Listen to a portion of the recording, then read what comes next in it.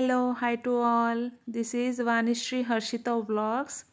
ఇవాళ నేను చిక్కుడుకాయ కూర చేసుకునే విధానం చూపిస్తున్నానండి. నేను కుక్కర్లో వండుతున్నానండి ఇది.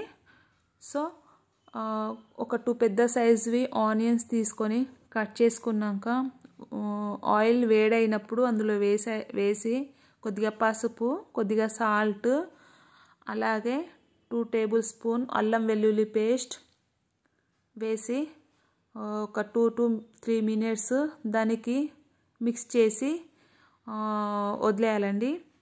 కొద్దిగా ఆనియన్ మెత్తపడేంత వరకు ఎన్ ఆనియన్ మెత్తపడాక కొద్దిగా గ్రేవీ థిక్నెస్ వస్తుందండి కర్రీకి. సో ఆ తర్వాత చిక్కుడుకాయ అందులో వేసి మిక్స్ చేసి ఒక టూ టు త్రీ మినిట్స్ వదిలేయాలండి. ఆ తర్వాత టూ పెద్ద సైజు టమాటోస్ మిక్స్ చేయాలండి. ఆ తర్వాత ఒక వన్ స్పూన్ కారము. ఆ తర్వాత కొద్దిగా మిక్స్ చేసి కొద్దిగా కొత్తిమీర. అలాగే ఒక టూ స్పూన్ ధనియా పౌడర్.